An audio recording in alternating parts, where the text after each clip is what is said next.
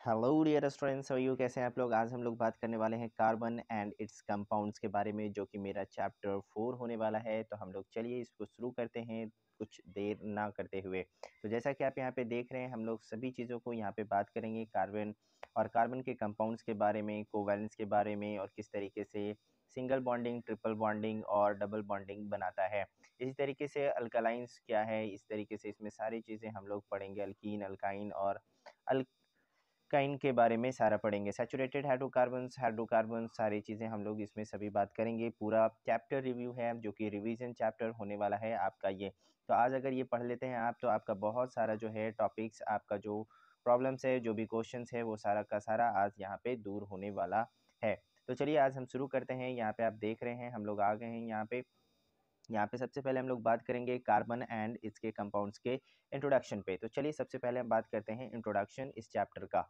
तो सबसे पहले हम लोग बात करेंगे यहाँ पे देख रहे हैं फ़र्स्ट पॉइंट यहाँ पे जैसा आप देख रहे हैं the elements carbon is non metal is symbol is carbon यहाँ पे जो कार्बन है, वो कार्बन एक नॉन मेटल है और जिसका सिम्बॉल्स कैपिटल सी होता है। ठीक है? इसी तरीके से सेकेंड पॉइंट आप देखेंगे कार्बन इज़ यहाँ पे देख रहे हैं versatile elements present in the earth earth crust में सबसे वर्साटाइल प्रजेंट है ये वर्साटाइल एलिमेंट्स है in a form the mineral is 0.02 percent and atmospheric CO2 में इज़ 0.03 परसेंट कार्बन डाइऑक्साइड है। लेकिन ये कार्बन इतना कम होने के बावजूद भी, ठीक है, यहाँ पे आप देखेंगे बहुत ज़्यादा आपके बॉडी में, आपके खाने में हर एक चीज़ में जो है कार्बन्स होना ज़रूरी है। आप चाहे मोबाइल फ़ोन चला रहे हों, चाहे जो भी चीज़ें हैं, दुनिया की जितनी भी चीज़ें हैं, सभी में कार्बन्स होते हैं। ऑल दी थिंग्स है ना living things plants, animals are made up of carbon based compounds. ये कार्बन बेस्ड कंपाउंड से ही बने हुए होते हैं, जितनी भी चीज़ हैं यहाँ पे, ठीक है?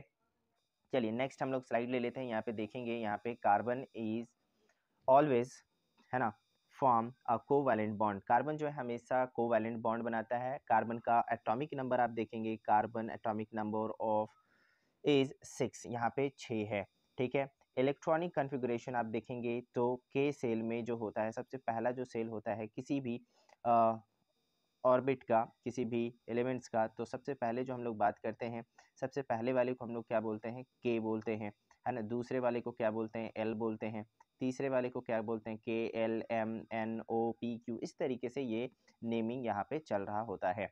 ठीक है? तो पहले वाले ऑर्बिट में हमारे पास दो एलिमेंट्स होते हैं। कितने होते हैं? दो, उसके बाद आठ, उसके बाद आठ। इसी तरीके से इलेक्ट्रॉनिक कन्फिग्रेशन लिखा जाता है। तो कार्बन का अगर हम लोग यहाँ पे देखेंगे तो कार्बन का आप देख सकते हैं यहाँ पे, ठीक है? यहाँ पे कितना दे रखा है? यहाँ पे दे रखा है के सेल में आप देखेंगे तो यहाँ पे दो हो गया पहले वाले में और दूसरे वाले में चार। तो इसको ज़ाहिर सी बात है, जो कार्बन है, यहाँ पे फोर नेगेटिव है और फोर जो है, यहाँ पे पॉजिटिव हो सकता है तो मतलब कार्बन चार ले भी सकता है और चार दे भी सकता है, ठीक है? तो यहाँ पे बात समझ में आ रही है और यहाँ पे हम लोग देखेंगे एक इसको आप समझ लें, how carbon attain noble gas configuration, एक कार्बन जो है कैसे अटेन करता है नोबल गैस कन्फिग्रेशन को तो ये बड़ा क्वेश्चन है जिसको आपको समझना चाहिए तो चलिए पॉइंट टू पॉइंट हम आपको सारी चीज़ें हमको, आपको बताएँगे यहाँ पे, पॉइंट नंबर वन में आप देखेंगे, कार्बन इज़ टेट्रावैलेंट। टेट्रावैलेंट बोले तो चार इलेक्ट्रॉन्स लास्ट ऑर्बिट में होता है, जो कि आठ होना चाहिए ऑक्टेट पूरा करने के लिए। ठीक है? चार पहले से मौजूद है, चार चाहिए। तो चार या तो शेयर कर सकता है, चार या तो ले सकता है। It does not from ionic bond ये आयोनिक बॉन्ड नहीं होता है आइदर लॉसिंग फोर इलेक्ट्रॉन्स या तो लॉस कर सकता है, और by gaining the four electrons four आपको मैंने पहले बताया नेगेटिव आयंस भी हो सकते हैं और पॉजिटिव आयंस दोनों हो सकते हैं। It is difficult to hold four extra electron and would require large amount of energy remove from electrons electron से बहुत ज़्यादा एनर्जी जो है लॉस करना पड़ेगा रिमूव करना पड़ेगा, तभी जा कर के ये चार जो आयंस हैं इसको होल्ड कर सकता है, या तो शेयर कर सकता है, या तो गेन कर सकता है। So carbon can form bond एक बॉन्ड बनाता है by the sharing of its इक्लो electrons with the electrons of other carbon atoms जितने भी अदर कार्बन एटम्स हैं, उनके साथ यहाँ पे बनाता है attain noble gas configuration ठीक है? दूसरा पॉइंट आप यहाँ पे देखेंगे the atoms of the other elements like hydrogens oxygens nitrogens chlorine also form a bond by the sharing of electrons. Electrons को शेयरिंग करके हाइड्रोजन के साथ ऑक्सीजन के साथ नाइट्रोजन के साथ ये बॉन्ड बनाता है ठीक है? एटम को शेयर करता है। तीसरा पॉइंट आप देखेंगे the bond formed by the sharing of electrons between same of different atom is covalent bond. जो बॉन्ड्स होते हैं वो शेयरिंग करते हैं इलेक्ट्रॉन्स का बिटवीन सेम और डिफरेंट एटम्स। दूसरे एटम या सेम uh, जैसा एटम के साथ कोवैलेंट बॉन्ड बनाते हैं। मतलब चार बॉन्ड उसका बनना चाहिए। ठीक है ये कार्बन का एक टेट्रा वैलेंसी रूल्स है उसके साथ। कार्बन हमेशा चार बॉन्ड कंप्लीट करेगा। तो चलिए फ़र्स्ट एग्जांपल आप यहाँ पे देखेंगे जैसे यहाँ पे हाइड्रोजन है दो हाइड्रोजन यहाँ पे है एच टू ले, ले रखा है। हाइड्रोजन पहले हाइड्रोजन के पास आप देखेंगे एक है इसके पास भी इलेक्ट्रॉन एक है ठीक है? अब दोनों हाइड्रोजन एटम जो है एक इसको देगा और दूसरा वाला भी इसको देगा। तो आप देखेंगे यहाँ पे दो इलेक्ट्रॉन्स यहाँ पे जो कट किया हुआ है ये इलेक्ट्रॉन्स दिखा रहा है, यहाँ पे रिप्रेजेंट कर रहा है। तो दोनों आपस में शेयर किया है यहाँ पे, ठीक है? और इस तरीके से ये आपस में दो बॉन्ड बनाते हैं। वन शेयरिंग पेयर इसको हम लोग कहते हैं। एक इलेक्ट्रॉन इसने दिया, एक इलेक्ट्रॉन इसने दिया, ठीक है? तो इस तरीके से जब ये देता है, तब इसको हम लोग कहते हैं वन इलेक्ट्रॉन शेयरिंग हुआ है यहाँ पे, ठीक है? एच और एच सिंगल बॉन्ड के साथ यहाँ पे बिटवीन हाइड्रोजन एटम्स अटैच हुए हैं। ठीक है? दूसरा एग्ज़ाम्पल आप देखेंगे एस टू का। तो चलिए थोड़ा सा स्लाइड कर लेते हैं ताकि आपको ज़्यादा से ज़्यादा यहाँ पे देख पाएँगे, ठीक है? चलिए, यहाँ पे देख रहे हैं एस ओ टू के साथ। तो ओ टू का जो ऑक्सीजन एटम्स है, आप यहाँ पे देखेंगे काउंट करेंगे one two three four five six ठीक है? ऑक्सीजन जो होता है ठीक है? ओ के साथ यहाँ पे जब बात करेंगे तो ऑक्सीजन का आठ इलेक्ट्रॉन्स होते हैं। पहले वाले ऑर्बिट में दो, दूसरे वाले ऑर्बिट में छः ठीक है? तो इसको ऑक्टेट पूरा करने के लिए हमें दो चाहिए। कितना चाहिए? दो इलेक्ट्रॉन चाहिए, ठीक है? ये छः नहीं दे सकता है। देना बहुत मुश्किल होता है सिक्स दे नहीं सकता है। यहाँ चार के आसपास बात करेंगे, जब भी आठ बनाना ऑक्टेट पूरा करना होता है तो या तो चार से कम होगा कम होगा तो वो किसी को देगा। ठीक है, चार से लेकिन ज़्यादा होगा, पाँच होगा छः होगा, सात होगा, ठीक है तो वो इलेक्ट्रॉन्स गेन करना चाहेगा, ज़्यादा आसानी होगा, ठीक है। तो यहाँ पे ऑक्सीजन के साथ देख रहे हैं कि यहाँ पे लास्ट ऑर्बिट में छः है तो वो दो लेना चाहेगा किसी से, ठीक है। तो यहाँ पे आप देखेंगे, यहाँ पे जो है एक इलेक्ट्रॉन्स और है ऑक्सीजन से यहाँ पे दो, तीन, चार, पाँच छः यहाँ पे है है ना। तो ये दो इलेक्ट्रॉन्स जो है, यहाँ पे आप देखेंगे ऑक्सीजन दो इलेक्ट्रॉन्स इसको दिया ठीक है? और ये ऑक्सीजन जो है, ये इसको इलेक्ट्रॉन्स दो दिया। तो दो दो मिलकर के यहाँ पे दो इसके साथ किया। तो इसका जो है, आप देखेंगे, इस वाले ऑक्सीजन का इसका आठ कंप्लीट हो चुका है। आप काउंट करेंगे। One two three four five six seven eight इसका भी कंप्लीट हो गया। अब इस वाले ऑक्सीजन का बात करेंगे।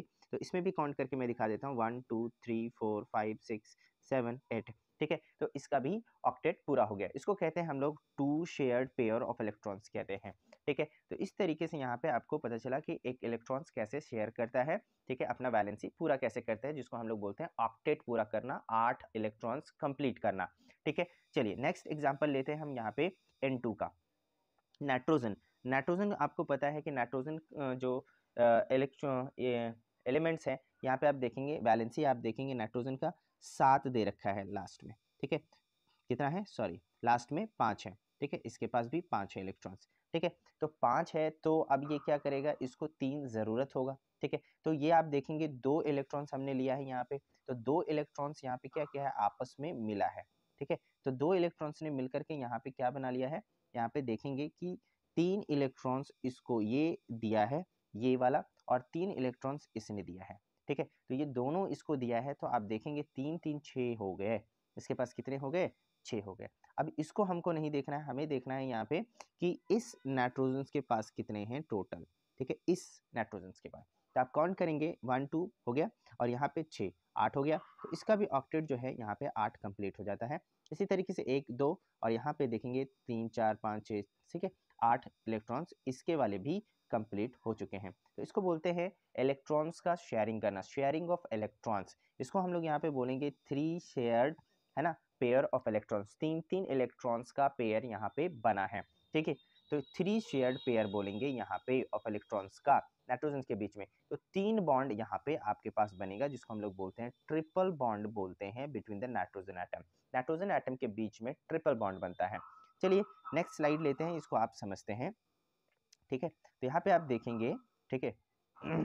यहाँ पे देखेंगे molecule of water has single covalent bond single covalent bond बनाता है between one oxygen and two hydrogen atoms दो हाइड्रोजन एटम्स, ठीक है, और एक ऑक्सीजन एटम जब रहता है तो क्या करता है? एक इलेक्ट्रॉन्स जो है यहाँ से इसको दे देता है, एक इलेक्ट्रॉन्स जो है इसको दे देता है, ठीक है? तो इस तरीके से आप देखेंगे कि ये और एक हाइड्रोजन जो है, ये वाला अपना, ये वाला जो है इसको दे देगा, ठीक है? और ये वाला जो है, इसके पास जो है, ये वाला इसको दे देगा, ठीक है? तो आप देखेंगे यहाँ पे दो इलेक्ट्रॉन्स, इसका भी कंप्लीट हो गया, हाइड्रोजन का ऑक्टेट हो गया। अब ऑक्टेट का मतलब यहाँ पे है आठ, ठीक? अब यहाँ पे ऑक्टेट नहीं बोलेंगे, हम यहाँ पे बोलेंगे वैलेंसी कंप्लीट करना। तो हाइड्रोजन का जो होता है एटॉमिक नंबर आप बोलेंगे टू ही होता है। सॉरी वन होता है। कितना होता है?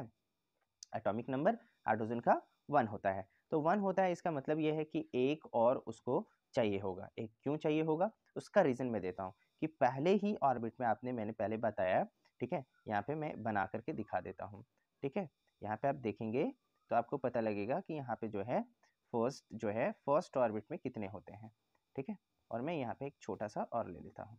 ठीक है? तो ये यहाँ पे मान लीजिए हाइड्रोजन है हमारे पास। ठीक है? ये हाइड्रोजन है। हाइड्रोजन के पास तो एक है। ठीक है? लेकिन फ़र्स्ट ऑर्बिट में आप बात करेंगे, इसके फ़र्स्ट ऑर्बिट में तो यहाँ पे कितना होना चाहिए? मैं यहाँ पे क्लियर कर लेता हूँ। ठीक है? हाँ। ओके? तो यहाँ पे देखेंगे, यहाँ पे फ़र्स्ट ऑर्बिट में दो होना चाहिए। कितने होने चाहिए? इस वाले में कितना होना चाहिए? आठ होना चाहिए। इसमें कितना होना चाहिए? आठ होना चाहिए। तो इस तरीके से आपको यहाँ पे देखने को मिलता है। तो यहाँ पे आप देखेंगे नंबर ऑफ़ इलेक्ट्रॉन्स यहाँ पे बढ़ेंगे। ठीक है? इस तरीके से बढ़ेगा। तो आप देखेंगे पहले यहाँ पे दो होना चाहिए। तो दो होने के लिए इसमें एक और चाहिए कहीं ना कहीं से। ठीक है? ओके? तो एक और कहीं ना कहीं से इसमें चाहिए होगा। ठीक है? तो कहने का मतलब है कि एक इलेक्ट्रॉन्स ये शेयर देगा और एक इलेक्ट्रॉन्स इसके साथ करेगा। ऑक्सीजन भी क्या करेगा? ऑक्सीजन का आठ ऑक्टेट कंप्लीट हो गया। और ऑक्सीजन एक इसको दे देगा ऑक्सीजन एक इसको दे देगा। तो यहाँ पे आप देखेंगे सिंगल सिंगल यहाँ पे आपको दिख रहा होगा। इसको हम लोग कहते हैं बॉन्ड चलिए मैं यहाँ पे क्लियर करके दिखा देता हूँ। ये हमारा बॉन्ड है, ठीक है? सिंगल बॉन्ड और ये दूसरा सिंगल बॉन्ड आप देख रहे हो, ठीक है? यहाँ पे। क्लियर तो इसको हम लोग बोलते हैं ठीक है? एच टू ओ इस तरीके से वाटर हमारा बनता है।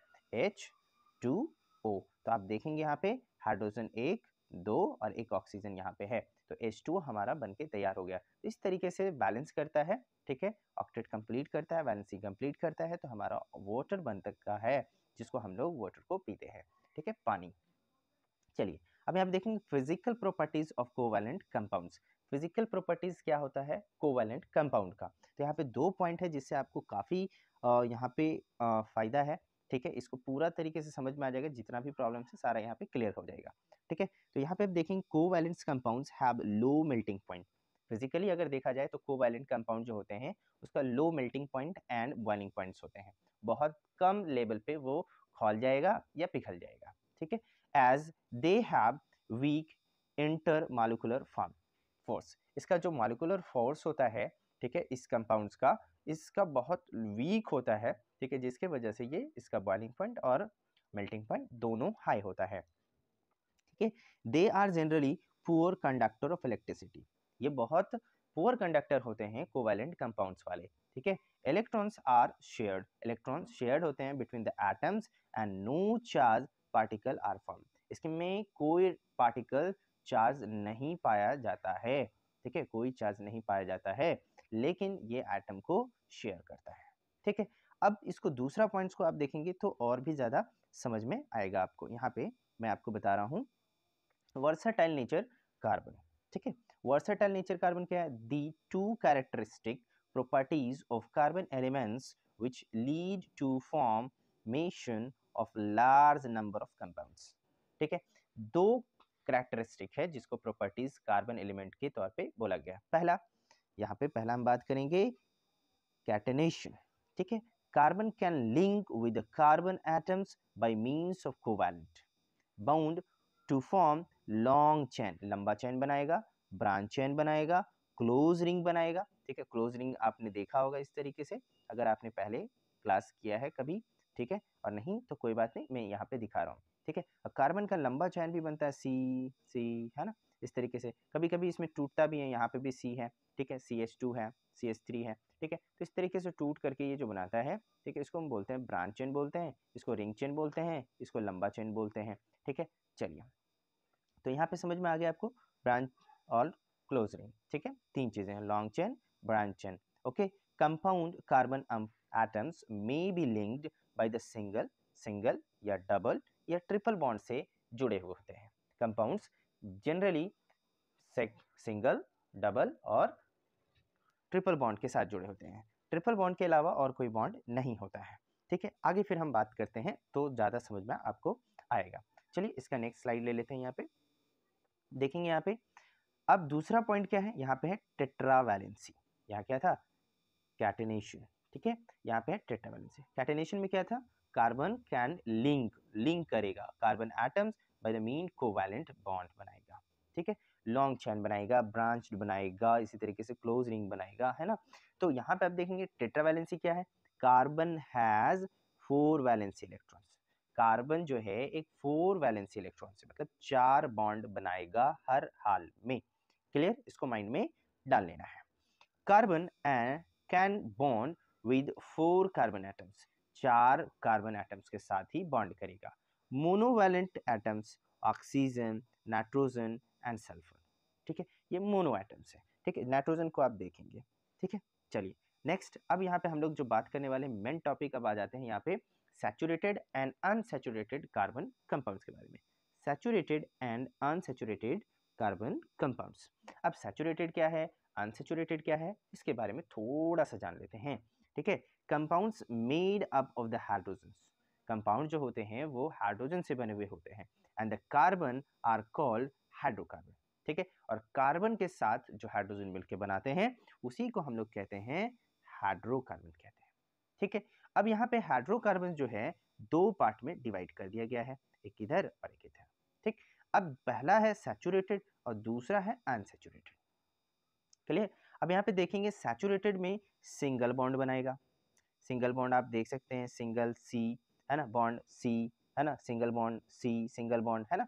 अब इसमें कौन होते हैं? इसमें होते हैं जनरली अल्केन्स होते हैं। जनरल फार्मूला जो होता है C N H two N plus two होता है। इसका जनरल फार्मूला है, ठीक? अब दूसरा आप तरफ़ आप जब आएँगे तो अनसेचुरेटेड होता है, जिसको हम लोग बोलते हैं डबल बॉन्ड और ट्रिपल बॉन्ड होते हैं बिटवीन द कार्बन एटम्स ये है डबल बॉन्ड देख रहे हैं आप, यहाँ पे ये डबल बॉन्ड है आपका, ठीक है? ये डबल बॉन्ड है।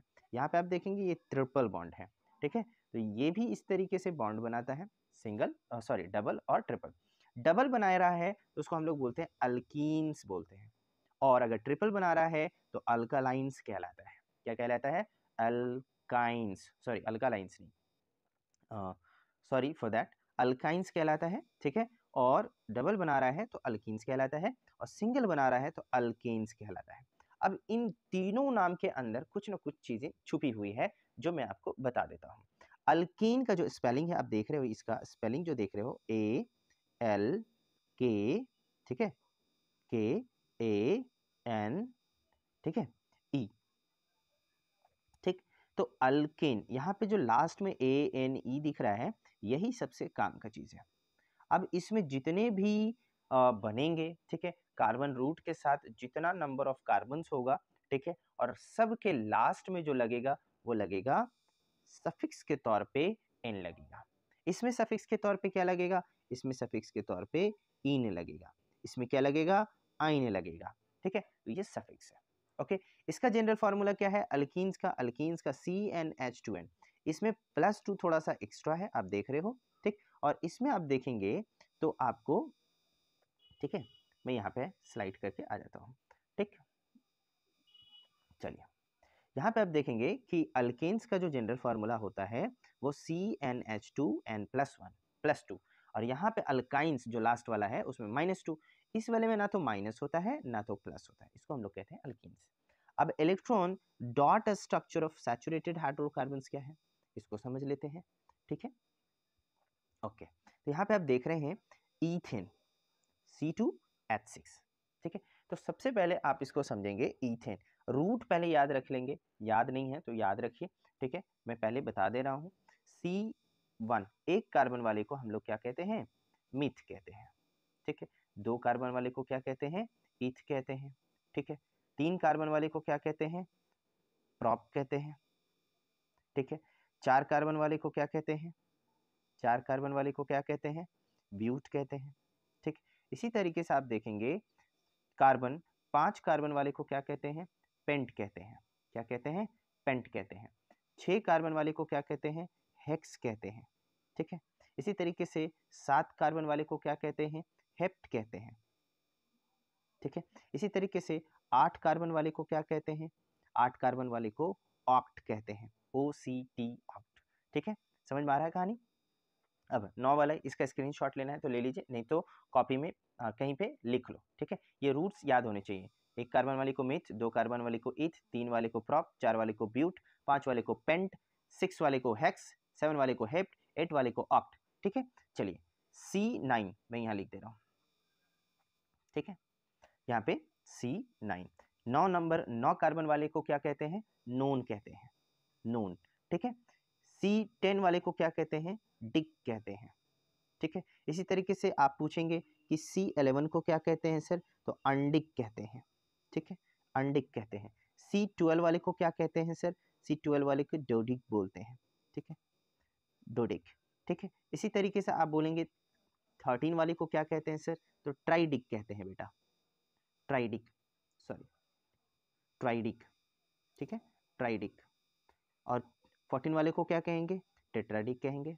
ठीक है? तो इस तरीके से नाम जो है और पंद्रह वाले को क्या कहेंगे? पेंटाडिक कहेंगे, सोलह वाले को हेक्साडिक कहेंगे, ठीक है? इस तरीके से चलेगा। सिंपली आपको कम से कम यहाँ पे वन से लेकर के आपको ज़्यादा नहीं, आपको टेन तक याद रखना है। इतना काफ़ी है आपको क्लास टेन तक के लिए, ठीक है? तो क्लास टेन तक के लिए जो six seven eight nine ten के बच्चे हैं, उसको ये रूट एक से दस तक याद होना चाहिए, ठीक है?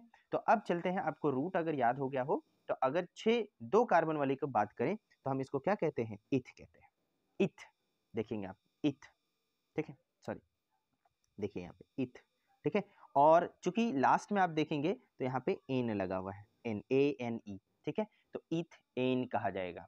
अच्छा सी सी एच फोर अगर लिखा हुआ रहा तो क्या नाम होगा? एक कार्बन वाले को हम लोग कहते हैं मिथ। क्या कहते हैं? मिथ कहते हैं। और लास्ट में हम लोग क्या लगाएँगे? हम लोग लगाएँगे ए एन ई लगाएँगे। ठीक है? तो हम लोग कहेंगे मीथेन। मीथेन ये एक गैस है जो आपको नाली में जो बदबू आती है, जो आप लोगों को सुगंध मिलता है, खुशबू खुशबू, बदबू बदबू, जो भी तो उसको हम लोग उस बदबू को कहते हैं मीथेन गैस। ठीक है? तो मीथेन गैस का फॉर्मूला क्या होता है? सी एच फोर होता है। याद रखिएगा। ठीक है? चलिए नेक्स्ट अब यहाँ पे हम लोग किसके बारे में बात कर रहे थे? ईथन के बारे में। तो ईथन में देखेंगे, दो कार्बन यहाँ पे है, दो कार्बन है। इधर से हाइड्रोजन लगा दिया, इधर हाइड्रोजन लगा दिए, नीचे लगा दिए, ऊपर लगा दिए, ऊपर लगा दिए, इधर लगा दिए, इधर लगा दिए। इसको हम लोग क्या बोलते हैं? इसको हम लोग बोलते हैं डॉट स्ट्रक्चर बोलते हैं। ठीक है? ये डॉट स्ट्रक्चर हमारा है। इसी डॉट स्ट्रक्चर को आप देखेंगे यहाँ पे कि यहाँ पे बॉन्ड लगा करके दे दिया गया है। ठीक है? इस तरीके से बॉन्ड यहाँ पे शो किए गए हैं।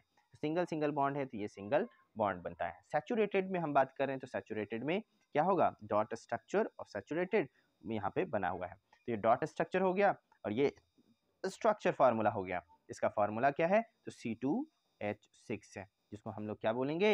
इथेन बोलेंगे। ठीक है? चलिए नेक्स्ट पेज पे स्लाइड करते हैं, आगे बात करते हैं। यहाँ पे आप देख रहे हैं, इस तरीके से आप सभी का यहाँ पे आपको दिख जाएगा। यहाँ पे स्क्रीनशॉट आप ले सकते हो। यहाँ पे नेम ऑफ़ हाइड्रोजन है, मीथेन यहाँ पे फार्मूला है ठीक है? एक कार्बन को मिथ बोलते हैं, लास्ट में एन लगाएँगे। दो कार्बन को इथ बोलते हैं, यहाँ दो कार्बन को इथ बोलते हैं इथेन बोलेंगे। तीन कार्बन वाले को प्रॉप बोलते हैं प्रोपेन बोलेंगे। ठीक है? और सभी का यहाँ पे स्ट्रक्चर फार्मूला भी दे रखा है। यहाँ पे आप देख सकते हो, सभी का स्ट्रक्चर फार्मूला है। ठीक है? अपना अपना। ओके। चलिए, चार नंबर वाला पाँच नंबर वाला स्क्रीनशॉट ले लीजिए, उसके बाद आगे हम लोग बढ़ते हैं यहाँ पे। तो यहाँ पे आप देखेंगे, ठीक है? चलिए। यहाँ पे आप देख रहे हैं electron dot structure of unsaturated hydrocarbon unsaturated hydrocarbon में बात करेंगे तो यहाँ पे आएगा, देखिए, दो कार्बन को हम लोग बोलते हैं इथ ठीक है? दो कार्बन वाले को इथ लेकिन ये ये कैसा है? डबल बॉन्ड वाला है। कैसा है? डबल बॉन्ड वाला है। तो हम लोग लगाएँगे ई एन ई लगाएँगे। क्या लगाएँगे? इथ इन क्या हो जाएगा? इथ इन ठीक है? अब यहाँ पे जब ट्रिपल बॉन्ड लग रहा होगा, ठीक है? ट्रिपल बॉन्ड लग रहा होगा, तब क्या कहेंगे? हम इसमें लगाएँगे इथ दो कार्बन वाले को इथ और लास्ट में लगाते हैं आइन वाई एन ई वा आइन ठीक है? इसको हम लोग पढ़ेंगे मिथाइन। इसको क्या पढ़ेंगे? सॉरी मिथ नहीं है, दो कार्बन है तो इथाइन और दो कार्बन यहाँ पे तो इथीन ठीक है? ओके इथेन इथीन और इथाइन ठीक है? क्लियर तो यहाँ पे तीन बॉन्ड का बन रहा है, यहाँ पे दो बॉन्ड का बन रहा है तो ये हो गया हमारा इथीन और ये हमारा हो गया इथाइन ठीक है? चलिए नेक्स्ट स्लाइड करते हैं, यहाँ पे देखते हैं। जिसका भी फार्मूला आप देख सकते हो name of hydrogen carbon alkanes में जब बात करेंगे अल्कीन में बात करेंगे तो e, एक नंबर वाले को इथ बोलते हैं लास्ट में इन लगेगा ठीक है? I N E E N E E N E ठीक है? Ethene prop propene but butene है ना? सभी का आप फॉर्मूला देखेंगे यहाँ पे जस्ट डबल करेगा। C N H two N यही तो फॉर्मूला था। एक नंबर रखा मैंने इनकी जगह पे, दो नंबर रखा तो दो रखा, और दो दुना यहाँ पे क्या हो गया? चार हो गया। यहाँ पे चार हो गया। ठीक है? ओके? तीन रखा और तीन दुना क्या हो गया? छः हो गया। ठीक है? इसी तरीके से आप देखेंगे यहाँ पे। ठीक है? चार रखा, चार दुना क्या हो गया? आठ हो गया। तो ब्यूट को ब्यूटीन। ठीक है? अब यहाँ पे आप देखेंगे, यहाँ पे इथाइन, अल्काइन में आप जब देखेंगे तो आपको पता लग जाएगा। एक नंबर वाले को इथ बोलते हैं, और लास्ट में क्या लगाएँगे? वाई एन ई लगाएँगे। तो ethyne, pro, propyne, but, butyne, है ना? अब यहाँ पे क्या होता है? जस्ट डबल होकर के दो घट जाता है, ठीक है? तो इसका फॉर्मूला क्या था? इसका फॉर्मूला आपको याद होगा, मैंने लिख, ऊपर दिखाया था C N H two N minus two ठीक है? माइनस टू ठीक है? तो ये था फॉर्मूला, जनरल फॉर्मूला अल्काइन का, ठीक है? तो आप देखेंगे यहाँ पे दो रखा कार्बन, ठीक? दो रखा तो दो दुना कितना हो गया? चार, और चार में से दो चला गया तो फिर से सी टू एच टू हो गया। ठीक है? तो दो कार्बन और एक हाइड्रोजन और एक हाइड्रोजन यहाँ पे तो दो हाइड्रोजन ठीक है? तो बीच में कितना बनाएगा? तीन और साइड में एक इधर और एक इधर, ठीक है? तो यहाँ पे आप देखेंगे इस कार्बन का चार बॉन्ड कंप्लीट है, इस कार्बन का भी देखेंगे चार कंप्लीट है, तीन इधर है और एक इधर है, चार कंप्लीट हो गया। हर कार्बन का अपना चार कंप्लीट है, इस कार्बन को आप देखेंगे तो ऊपर, नीचे, इधर, उधर, है ना? चारों तरफ़ चार है। इस कार्बन का अगर आप देखेंगे, ठीक है? इस वाले कार्बन को तो आप देखेंगे इस साइड पे तीन है, ठीक है? यहाँ पे तीन है और यहाँ पे एक है, ठीक है? तो एक इधर और तीन इधर तो कितने हो गए? चार हो गए। इसी तरीके से अगला हर कार्बन को आप काउंट करेंगे, चारों तरफ़ से चार बॉन्ड ज़रूर बनेगा। इसको बोलते हैं टेट्रा वैलेंसी चलिए, इतना कहानी क्लियर हो गया तो आगे हम लोग स्लाइड करते हैं और यहाँ पे हम लोग बात कर लेते हैं पहले, ठीक है? यहाँ पे carbons compounds on the basis of the structure structure के बेसिस पे बात करेंगे बेसिस पे बात करेंगे तो पहला है फ़र्स्ट पॉइंट देखेंगे स्ट्रेंथ ठीक है? स्ट्रेट ठीक है? सीधा अनब्रांच चैन बोलेंगे। स्ट्रेट ठीक है? स्ट्रेट तो कार्बन कार्बन कार्बन कार्बन ये स्ट्रेट है, ठीक है? तो आप यहाँ पे देखेंगे, ठीक है? तो यहाँ पे देखेंगे तीन कार्बन है। जैसे एग्ज़ाम्पल में हम बात कर रहे हैं सी थ्री एच एट का। अच्छा मुझे बताओ, ये इसका नाम क्या होगा? इसका नाम क्या होगा? तीन कार्बन वाले क्या कहते हैं? प्रॉप कहते हैं। वेरी गुड ठीक है? अब देखो यहाँ पे आठ है। तो तीन तीन, तिया तीन दुना छः और दो प्लस हुआ है। तभी तो आठ हुआ है। तो दो प्लस किसमें होता है? तो प्रो अल्केन में होता है। मतलब ए एन ई लगेगा। तो प्रॉप एन हो जाएगा। क्या हो जाएगा? इसका पूरा नाम है प्रॉप एन नाम है। क्या नाम है? प्रॉप एन नाम है। अब देखेंगे इसका जो आप देख रहे हैं ब्रांच जो देख रहे हैं, ये ब्रांच देखिए लंबा है। देखिए, ठीक है? इस तरीके से लंबा है।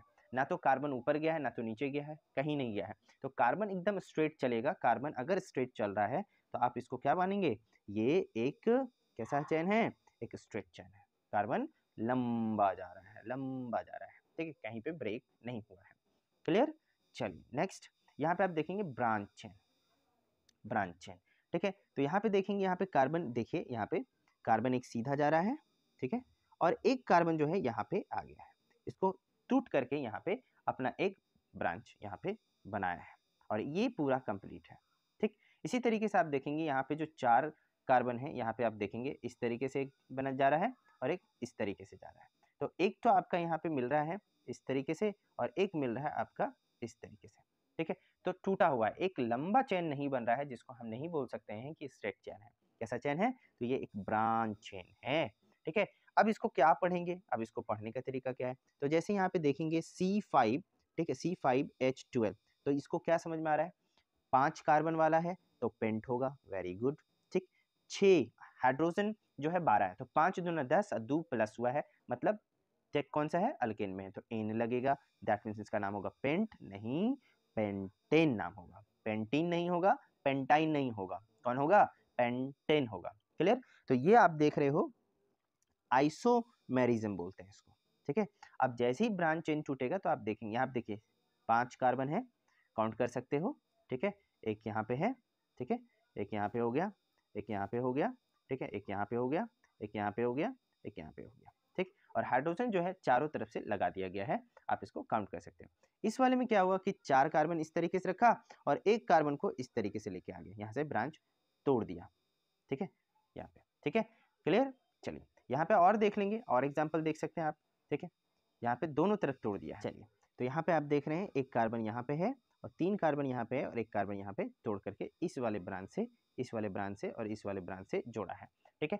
तो ये भी एक ब्रांच टूट गया। अब इसको और थोड़ा सा समझते हैं, ठीक है? और थोड़ा सा समझ लेते हैं ताकि आपको ज़्यादा आसानी हो, ठीक है? यहाँ पे देख रहे हैं दीज थ्री एवब कंपाउंड्स जो ऊपर के जो तीन एवब कंपाउंड्स थे, ठीक है?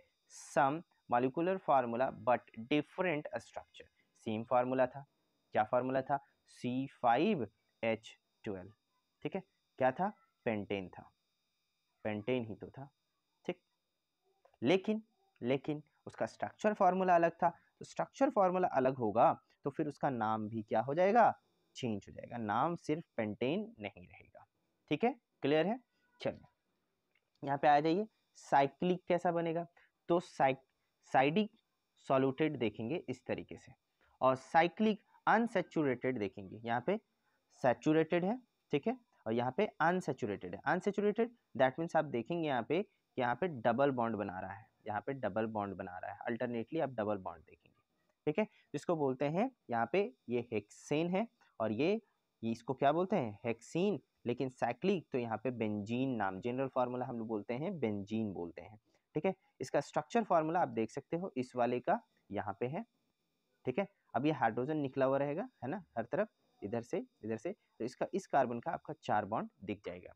इस वाले का आप देखेंगे, ठीक है? तो यहाँ पे भी आपको दिखेगा बेंजीन का। ठीक है, ये स्ट्रक्चर फार्मूला हो गया और ये साइक्लिक में इस तरीके से दिखता है। आप देखेंगे double bond double bond double bond तीन जगह।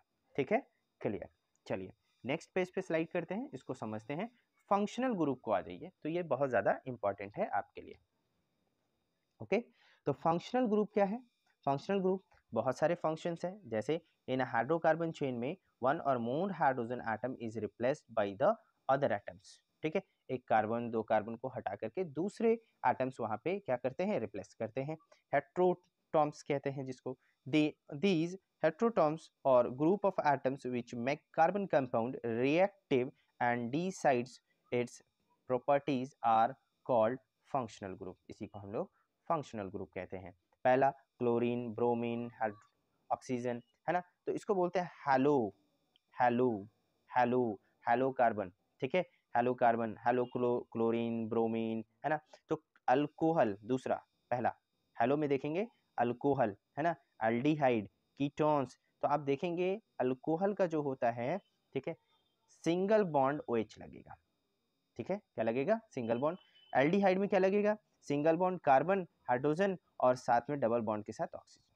कीटोन्स ग्रुप का जो होगा, उसका जो फंक्शनल ग्रुप होगा, वो क्या होगा? कीटोन्स ग्रुप का। ठीक है? यहाँ पे देख सकते हो। इसी तरीके से कार्बोजेलिक एसिड में देखेंगे तो इस तरीके से आपको मिलेगा, ठीक?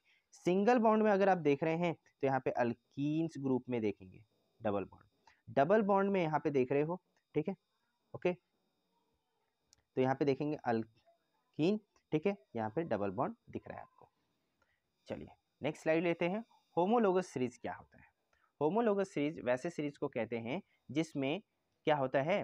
हर electrons ethane methane propane butane सब का कुछ ना कुछ एक कॉमन होता है, ठीक है? Homologous series it series compound in which the some functional group substituted for the hydrogen in the carbon chain जैसे अल्कोहल देख सकते हैं C H three O H ठीक है? C two H five O H O H लगा हुआ रहेगा आपको सब में, ठीक है?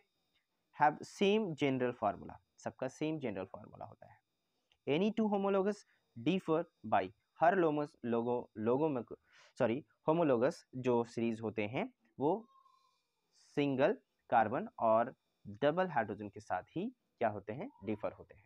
Difference in a molecular mass 14 unit के साथ होता है। 14 यूनिट कार्बन का कितना होता है? कार्बन का 6 और 6 6 बारह, ठीक है? और ऑक्सीजन हाइड्रोजन का कितना होता है? एक एक, दो, और दो हाइड्रोजन है तो दो हो गया तो बारह दो कितना हो गया? चौदह। चौदह यूनिट आपका यहाँ पे होता है। Have same chemical properties, but show gradual change in physical properties कुछ ना कुछ उसमें चेंज होता है। ठीक नेक्स्ट यहाँ पे आप देखेंगे क्लियर होमोलो सॉरी नोमिन ऑफ़ कार्बन कंपाउंड्स अब यहाँ पे है कार्बन कंपाउंड्स के नोमिन पे बात।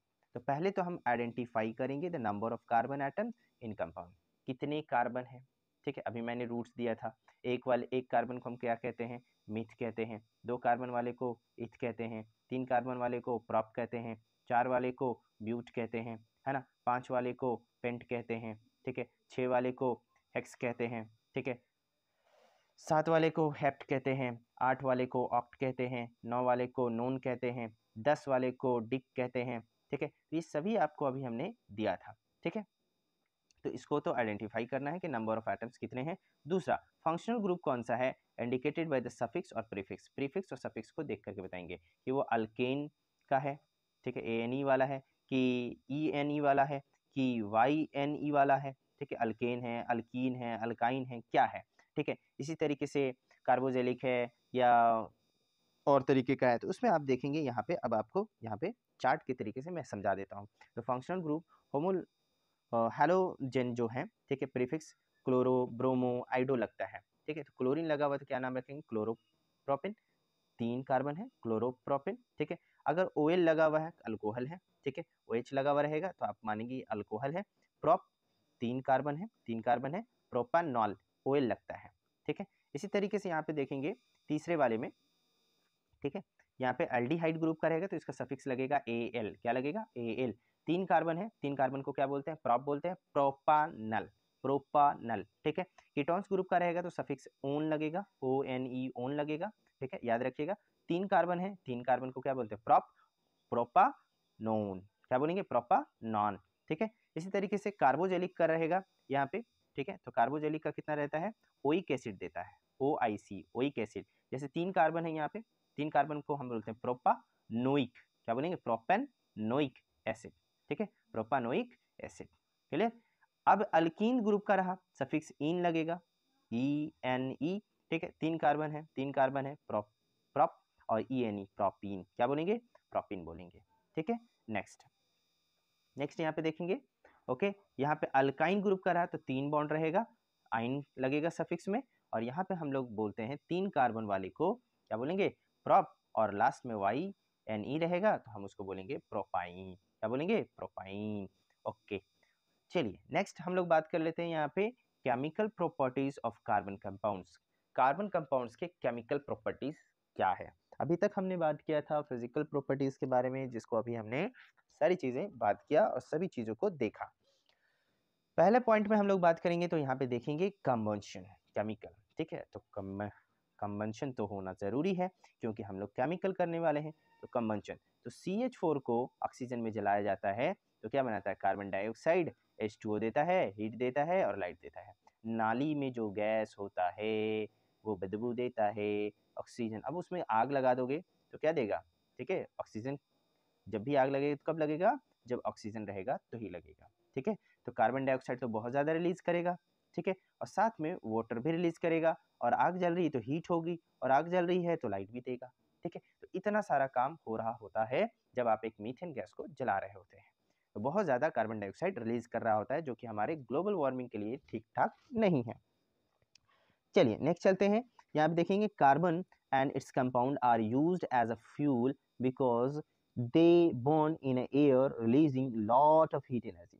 Carbon और कार्बन के जितने भी कंपाउंड्स हैं, जितने भी लकड़ी, कोयला, जो भी आप देख रहे हैं, गोबर वगैरह, है ना मीथेन गैस वगैरह, सभी के सभी ये जो कंपाउंड्स है कार्बन कंपाउंड से बहुत ज़्यादा एनर्जी देते हैं जलने पे और हवा में ये रिलीज़ करते हैं एनर्जी हीट एनर्जी को भी, ठीक है?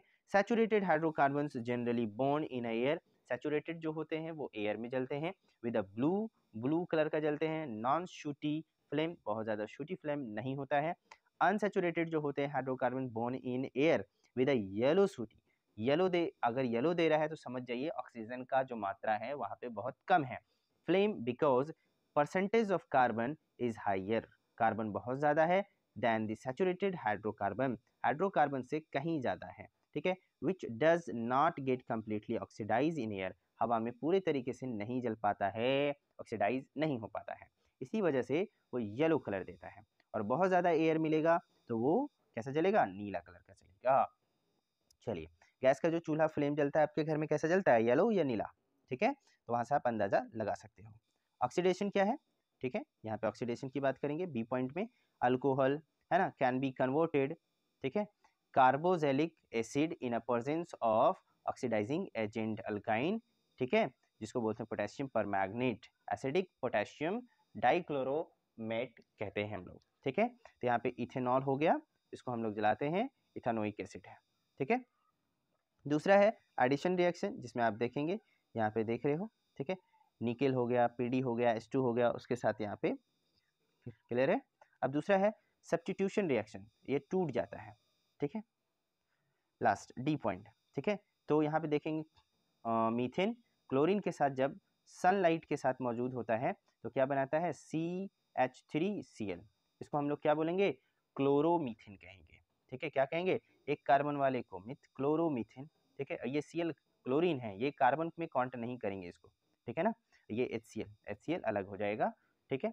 Important carbon compounds ethanols and ethanoic acid ये इंपॉर्टेंट कार्बन है, जिसको फ़िज़िकल प्रॉपर्टीज़ ऑफ़ इथानोल्स यहाँ पे देखेंगे। कलरलेस होते हैं प्लेजेंट स्मेल होता है बर्निंग टेस्ट है ना? जला हुआ महसूस करेगा तो ये इथेनॉल्स, इथानोइक एसिड जो होता है। आप देखेंगे परफ्यूम वगैरह में भी ये यूज़ होता है, ठीक है? ओके, चलिए। अभी आप देखेंगे सॉल्यूबल इन वाटर वाटर में घुल जाता है। Volatile liquid with a low boiling point तीन सौ इक्यावन केल्विन का होता है। नेचुरल कंपाउंड्स होते हैं, सॉरी, न्यूट्रल कंपाउंड्स होते हैं। Chemical properties, reaction with sodium sodium के साथ रिएक्शन करवाता है तो सोडियम एक्सो इथो ऑक्साइड देता है, ठीक है?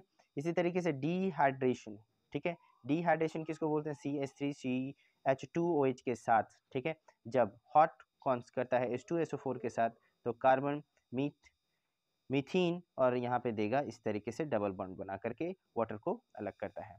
फ़िज़िकल प्रॉपर्टीज़ आप यहाँ पे देखेंगे, ठीक है? कहाँ चला गया? ओके नेक्स्ट स्लाइड में आप देखेंगे physical properties of ethanoic acid colourless liquid having the sour taste खट्टा टेस्ट होता है इथानोइक का। स्मेल विनेगर का। बॉइलिंग पॉइंट इसका तीन सौ इक्यानवे होता है। याद रखिएगा वेन प्योर जब प्योर होता है तो C S three C O H होता है। Is freezed it form colourless ice like solid solid के साथ ये बनाता है कलरलेस आइस जैसा हो जाता है ये। ठीक है? So it is called glacial acetic कहते हैं। केमिकल प्रॉपर्टीज़ आप देखेंगे स्टरीफिकेशन पहला। ठीक है? तो यहाँ पे हम बात करते हैं। ओके तो यहाँ आप देखेंगे इथानोइक एसिड, इथेनॉल्स के साथ जब जुड़ता है एसिड में, ठीक है तो ये आपको फॉर्म बनाता है जिसको हम लोग बोलते हैं ईस्टर बोलते हैं। इसका केमिकल फार्मूला याद रखिएगा C S three C O C S two C S three ठीक है? अभी आप देखेंगे स्वीट स्मेलिंग ईस्टर का जो होता है स्वीट स्मेलिंग देता है, बहुत मीठा आपको अतर जैसा महसूस होगा, ठीक है? This is the saponification as soap ठीक है? साबुन जैसा भी ये फील होता है प्रिपेयर्ड बाय द दिस इसको प्रिपेयर करते हैं। तो reaction with base next slide लेंगे यहाँ पे। रिएक्शन विद बेस ठीक है? तो आप देखेंगे रिएक्शन विद बेस के साथ N A O H C S three C O H के साथ सोडियम एसिटेट बनाएगा। चलिए नेक्स्ट यहाँ पे देखेंगे reaction with carbonates and hydrogen carbonates के बारे में। तो यहाँ पे आप इसका स्क्रीनशॉट ले सकते हैं, इस फॉर्मूले को लिखिए एक बार और खुद से ट्राई कीजिए। अब यहाँ पे सोप और डिटर्जेंट यहाँ पे सबसे ज़्यादा काफ़ी इंपॉर्टेंट आपका यहाँ पे पॉइंट आता है। तो इसको समझ लीजिए थोड़ा सा। चलिए तो फ़र्स्ट पॉइंट में हम लोग बात करेंगे यहाँ पे सोप इज़ अ सोडियम ठीक है, और potassium salt long chain carboxylic acid होता है। एग्ज़ाम्पल के तौर पे देखेंगे सी सेवनटीन वाओ सत्रह कार्बन हाइड्रोजन पैंतीस, सत्रह दोनों चौंतीस, एक पैंतीस और एक वाले हाइड्रोजन के साथ सी ओ ओ एन ए लगाया जाता है सोडियम के साथ। ठीक है? तो ये जाप करके बनाता है आपका सोडियम बनाता है जो कि सोप डिटर्जेंट है, ठीक है? तो इसका याद रखिएगा formula C seventeen H thirty five C O H ठीक है? ये वाला याद रखेंगे। Soap are the effective only in a soft water. Soft water में ही इफ़ेक्टिव होता है, क्योंकि अगर डस्टी वाटर होगा खारा पानी होगा तो सबसे पहले तो उसको क्लेजिंग में यूज़ करेगा और इस सारा पावर सोडियम का खो देगा, ठीक है? तो आप देखेंगे, आप जब भी गंदे हाथ से आते हैं बाहर से तो आप देखे होंगे कि आपका जब भी हाथ साफ़ होता है तो पहली बार में आप जब साबुन से हाथ धोते हैं तो ज़्यादा झाग नहीं देता है। लेकिन सेकेंड टाइम जब धोते हैं तो बहुत ज़्यादा झाग देता है, चूँकि फ़र्स्ट टाइम हाथ बहुत ज़्यादा गंदा होता है, ठीक है? ओके तो डिटर्जेंट आर द कॉम अमोनियम और डिटर्जेंट जो होता है अमोनियम के साथ सल्फ सल्फोनेट सॉल्ट के साथ लॉन्ग चेन कार्बोजेनिक एसिड बनाता है। Detergent are the effective in a both hard water में भी एंड सॉफ्ट वाटर दोनों में करता है। जो कपड़े धोने वाले होते हैं, वो हार्ड वाटर और सॉफ्ट वाटर दोनों में काम करता है। लेकिन सबसे ज़्यादा अच्छा काम करेगा तो सॉफ्ट वाटर में करेगा, हार्ड वाटर में बहुत कम करता है। तो दो बार अगर आप धो रहे हैं, ठीक है, सोडा से तो ज़्यादा आपका कपड़ा साफ़ होता है। सोप मालिकुल जो है, हैज़ आयोकन, आयोनिक हाइड्रो जलिक पार्ट होता है। लॉन्ग कार्बन, हाइड्रोकार्बन चैन्स होते हैं, जिसको बोलता है हैं हाइड्रोफोबिक बोलते हैं, हाइड्रोफोबिक पार्ट। जो ये सिरा है, आप जो देख रहे हो इसको, ठीक है, इस वाले को, इसको बोलते हैं हाइड्रोफोबिक एंड कहते हैं, और इसको बोलते हैं हाइड्रोफोबिक एंड। ये दूसरा एंड है आपका, और ये पहला एंड है, ठीक है, दोनों तरफ़। तो यहाँ पे आ जाइए, नीचे। अब यहाँ पे समझ जाइए कि कोई चीज़ कपड़ा साफ़ कैसे हो रहा है। तो क्लीजिंग एक्शन ऑफ़ सोप ठीक है सोप किस तरीके से काम करता है। Most dirt is oily in nature oily nature का होता है, हाइड्रोफोबिक एंड, है ना, इसका देख रहे हैं, ये यहाँ पे इस तरीके से सोडियम का। तो हर तरफ़ आपको दिख रहा होगा यहाँ पे ऑयल डिप्लेट होता है यहाँ पे। तो हर तरफ़ से ये अटैक करता है इस पर ठीक है? हर तरफ़ से अटैक करता है ओके और उसको ख़त्म करता है। तब जा कर के ये साफ़ होता है। Soap मिसलेस haves the dissolve dot dissolve dot को यहाँ पे, और ग्रीस को वाटर को क्लॉथ्स गेट्स क्लीन इस तरीके से ये क्लीन करता है, ये एक्शन करता है। कुछ पॉइंट्स आप इसको देख सकते हैं, यहाँ पे, पढ़ भी सकते हैं, ठीक है? सॉल्ट प्रजेंट होता है वाटर ईच द सॉप है ना? Insoluble by the using the detergent insolubles acum not formed with the hard water. Hard water के साथ काम नहीं करता है सोप है ना? Cloth get the clean effectively और बहुत जल्दी वो क्लॉथ साफ़ हो जाता है। सिर्फ़ पानी से धोएँगे तो नहीं होगा। अब आ जाइए यहाँ पे कुछ क्वेश्चन आंसर हैं, जिसको आप बखूबी यहाँ पे देख रहे हो। वेरी शॉर्ट आंसर क्वेश्चन है, जिसमें देख रहा है how does the carbon attain the noble gas configuration draw the electrons dot a structure of water molecule water molecule का एच टू ओ का कैसे बनाएँगे, ठीक है? तो यहाँ पे एच हो गया, सिंगल हो गया ओ हो गया, सिंगल हो गया। और डॉट स्ट्रक्चर बोल रहा है तो डॉट स्ट्रक्चर में यहाँ पे छः होना चाहिए, ठीक है? यहाँ पे एक हो जाता है, एक इसका हो जाता है, ठीक है? तो यहाँ पे आप देखेंगे, ये शेयर करेगा इसके साथ, ये शेयर कर लेगा इसके साथ और ये कर लेगा इसके साथ, ठीक है? तो ये आपका जा के पूरा तैयार होता है। तो इस तरीके से आप देख रहे हैं यहाँ पे बहुत सारे क्वेश्चन हैं सिंगल्स है डबल मार्क्स दो मार्क्स के यहाँ पे क्वेश्चन है इस सभी और ये पीडीएफ आपको चाहिए जिस पे हमने पढ़ाया है आपको काफ़ी अच्छे से खुद से पढ़ना है। तो आप M I up to date को गूगल पे सर्च कर लीजिए, वहाँ पे आपको सबसे पहला वेबसाइट मिलेगा, वहाँ से जा के आप डाउनलोड कर सकते हैं। नहीं तो आपको ये वीडियो डिस्क्रिप्शन में आपको लिंक मिल जाएगा ताकि आप वहाँ से डाउनलोड कर सकते हैं। आज के लिए इतना ही, thank you thank you. Very much channel को सब्सक्राइब कर देना लाइक कर देना और फिर मिलते हैं एक नए वीडियो के साथ। आज के लिए इतना ही। Thank you very much